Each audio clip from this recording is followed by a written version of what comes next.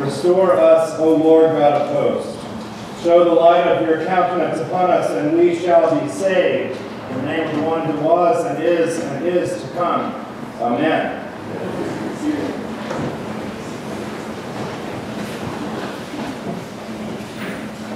So here we are again on the first Sunday of Advent. Things look a little bit different up here. The hangings are no longer that plain green we had grown weary of. This deep blue, beautiful color we love wearing reminds us of the Blessed Virgin Mary in art and in icon. I didn't get that at the early service either. Iconography. I practiced it all during the forum, thinking I was going to get it right. Yes, it used to be that we used purple for Advent too, when this uh, shortened season was a mini Lent, but things changed in the church slowly. We are less focused on penitence and more focused on hope and expectation of the Savior who will come to save us. Deep blue is the color of the pre-dawn sky, the color that covers the earth in the hours before the sun rises in the east. It symbolizes the other reminder of Christ's second coming, of which he speaks in the gospel. Sure, penitence and spiritual discipline should be part of our Advent observance.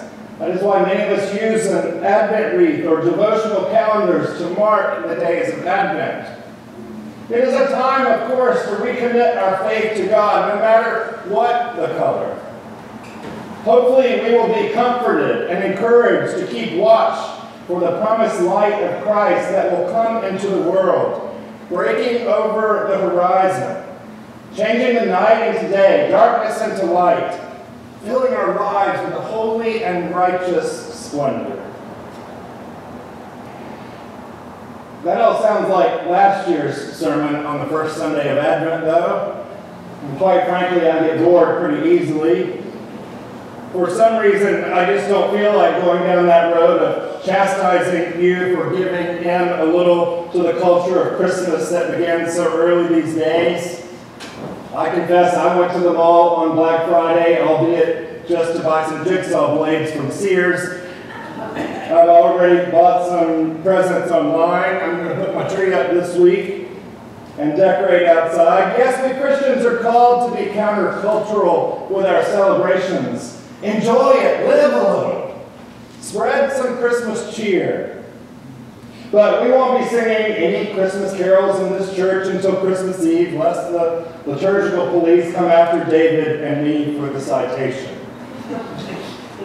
Would all that language of waiting and preparing and expectation just seem a bit tired to me? I apologize. So I was moved by the words of Isaiah and one word from the psalmist this week restore. Restore. Restore us, O God of hosts. Restore us, O Lord God of hosts. Maybe it excited me because I like to do projects in our basement workshop, restoring furniture, bringing back things that were a little shoddy, bringing them back to life. I like to go to Second Chance, that big warehouse down from our beloved casino. They have the neatest old stuff in there looking for a new purpose. Old fireplaces, columns, cabinets, furniture, lighting. I've got a light fixture there. I love finding this stuff and giving it a new purpose. Last week I got an old silver chest I'm going to sand down and polish. Also got a silver bowl. I love to polish silver. It's a therapeutic somehow. I've shared that uh, joy with Harold in the back. Something that looks old is brought to new life, restored. You ever tried that trick? I bought this bowl, it was pitch black, and you um, put aluminum foil in the bottom of the sink and boil some water and put baking soda in there and then pour the water over it and the tarnish slowly comes off of the bowl and ends up on the aluminum foil.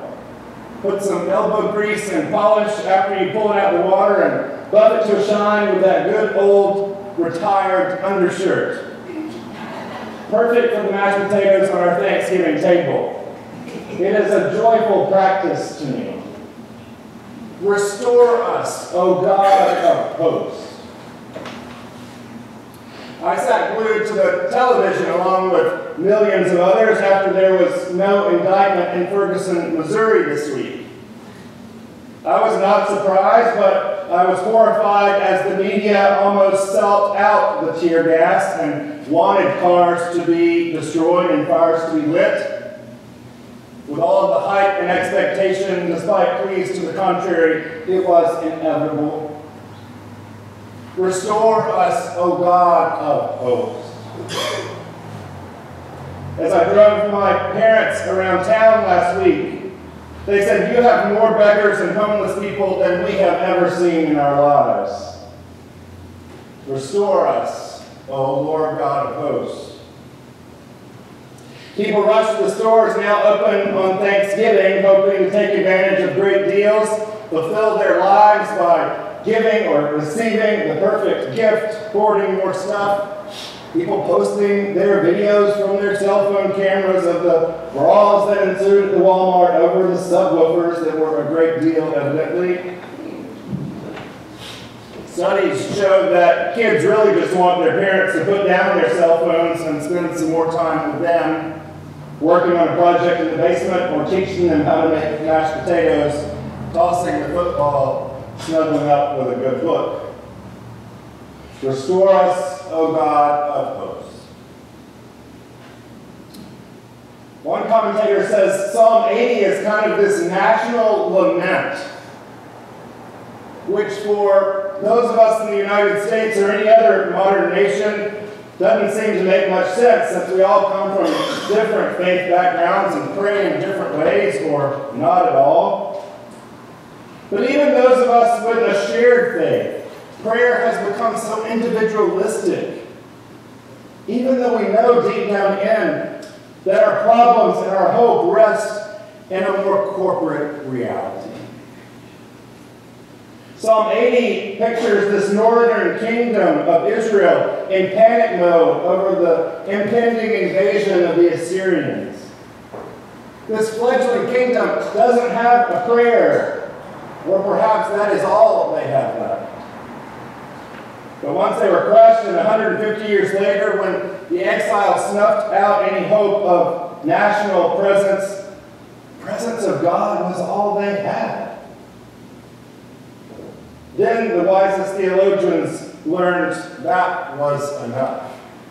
And so might we. Isaiah's words will work too if you like those better, God. Oh, that you would tear open the heavens and come down so the mountains would quake. You used to shine your face upon us. Remember that time back at Mount Sinai? You used to send your power down like an earthquake. We followed you in the cloud and the pillar of fire by night. Don't be angry with us anymore. We've suffered enough. We'll turn and follow you if you just restore us. I like Isaiah and the words of the psalmist because they break it down and make it real. They get honest with God. They plead with God. They know they have no other prayer. So, this Advent, I wonder what would happen if we do the same.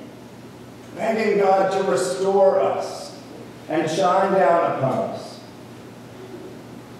Sure, it does seem easier when we don't have to confront the collection of all the messes of our lives and of our society. But could it be that in our unknowing, we ignore the reality of the holy all around us as we go our way? Could it be that we, like the Israelis of Isaiah's time, do not see or experience God because we do not practice God's presence enough. And by practice, I mean intentional focus. I mean daily prayer. I mean struggling and striving each and every moment to live life on purpose in the presence of the one who created us. What if it is our job to restore ourselves and society and our world? Think of what it would mean for us to live a life on purpose, fully aware that God is, in fact, right here already, Emmanuel.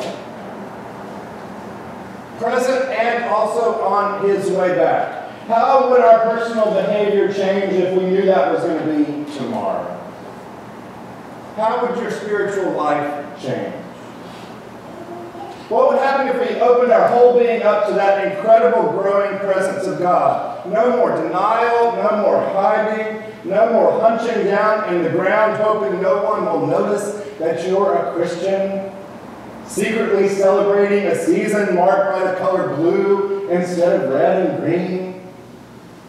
A season of preparing for the one who will come to restore the whole creation. So that is what excites me about the season. It is not boring to me. We get to gather together as a community to raise one bold voice that is very countercultural, asking God to listen. We know we have sinned, God, and we confess, but we are a people of faith in you, strong enough to handle our anger and anything we can throw at you. We are a bold community that was named Nativity for a reason. Courageous enough to ask you here in this place for help. Together we know and proclaim what we know from our experience in this world, torn by strife. And we trust in you to restore your covenant with us, O God. And finally, we have figured out that we will only be restored by getting out there and restoring other people. With our prophetic voice as a Christian community, we proclaim that discrimination based on our color or background or neighborhood of origin is not acceptable. There is a better way.